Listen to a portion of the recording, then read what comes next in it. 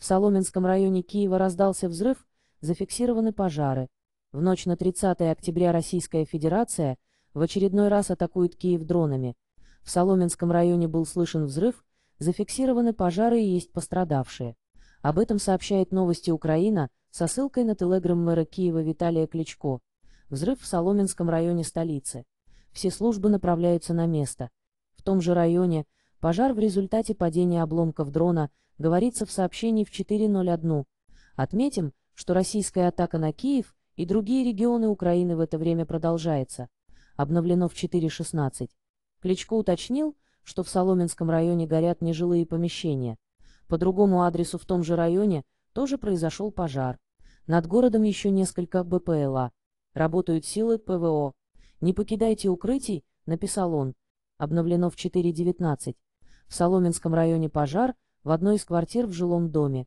Одной пострадавшей медики оказали помощь на месте, сообщил мэр Киева. Обновлено в 4.32.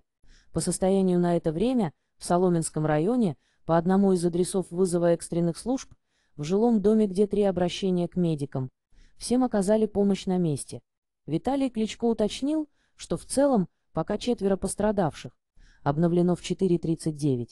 В Соломенском районе в жилом доме пожар на втором и третьем этажах. Уже пятеро пострадавших. Всем медики оказали помощь на месте, написал Кличко. В КГВА тем временем опубликовали первое фото последствий. Обновлено в 4.42. В КГВА рассказали, что в Соломенском районе из-за атаки БПЛА зафиксировано возгорание еще по одному адресу, в частности в многоэтажном административном здании. Сейчас информация уточняется. Обновлено в 4.49. В жилом доме в Соломенском районе, куда попали обломки дрона, сейчас 9 пострадавших. Среди них 11-летняя девочка. Всем медики оказали помощь на месте, написал Кличко, где объявили тревогу.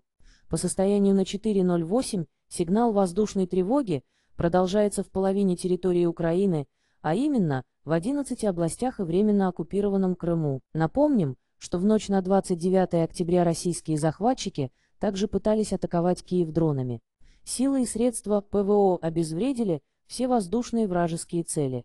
Однако из-за падения обломков БПЛА в столице произошло возгорание. Более подробно о ночной атаке РФ по Киеву и последствиях читайте в материале РБК «Украина».